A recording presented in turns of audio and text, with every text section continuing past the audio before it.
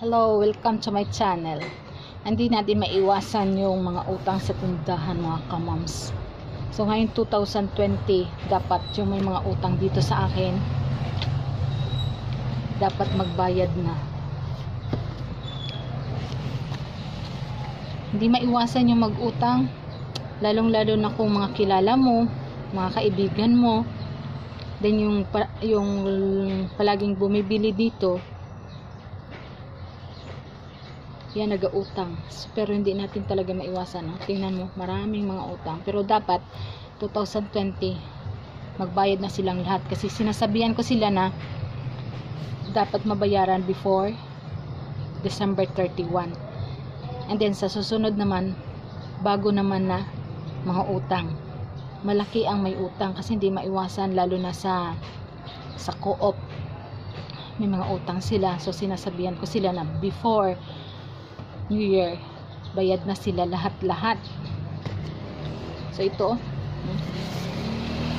ito yung mga listahan ng mga utang. Notebook, ito ng mga utang.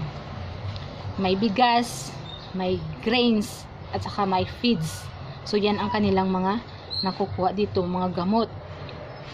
So kung minsan, maya ka rin na hindi magpautang kasi close mo sila pero dapat na magbayad sila ng kanilang utang dahil may kapital din ang tindahan.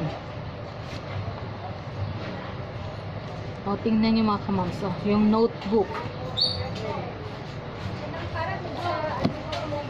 Sa nagkalibanga. Pi, pila ang edad? Pila ka buok? Atulo? Isa lang man to noon.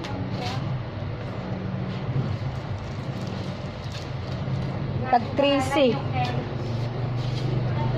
Kanila ah. Oh, itingal mo kung pwede. Kung mag-inom man lang siya sa iyang akuan, Tubig. tubig, isa ka, oh. Bisan gamay lang para maubos niya lang. Kasi nagtimbang kaya eh. Sorry po barangay ni. Dako lang mo. Nag-ingon ka man dagko. Islan mo? Gagmay man eh. Ay, gagmay ang gihatag. Balik na ko. Wala ko kiki og gagmay na kay matulungan ko. Asa na to makuha kuan? Nga no? Ako na ako ay ulan na ulan. Kalendar? Hmm. Ako lang ko. Hmm. Ah, pila duha isa. Dalawa. Thank you. Wala na eh. Wala na. Kanon lang. Ah.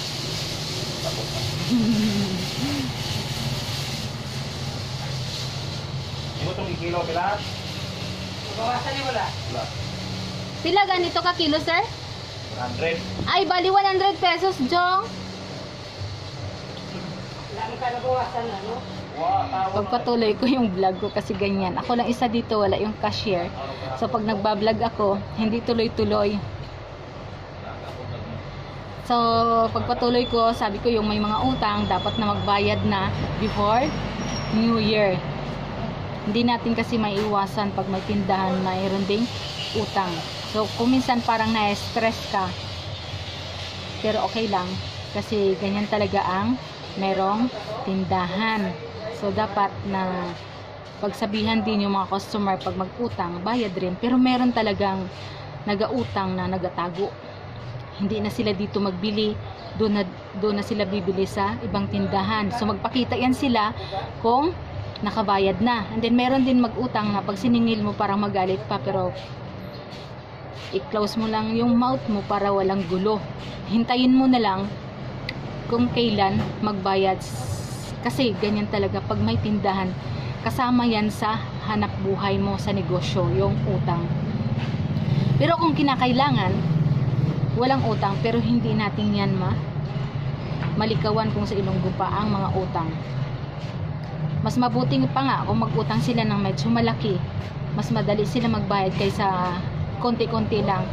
Pwede nilang makalimutan. Meron pa nga dyan dito nagautang na one year na hindi pa nagbabayad. Nasunog na lang tindahan kung dati hindi pa na nagbayad. Kala siguro nila nakalimutan ko na pero meron akong listahan na ng kanilang mga utang. Kahit, kahit nasunog yung listahan, hindi ko man malimutan yung kanilang utang. So, meron din nagbabayad na kahit hindi mo siningil nung nasunog ang tindahan kasi nawa sila sa amin dahil nasunugan na nga bakit hindi sa daw sila magbayad pero meron talaga na may utang na akala nila hindi ko na alam pero ma- may mga mabubuting tao rin na matandaan yung kanilang mga utang.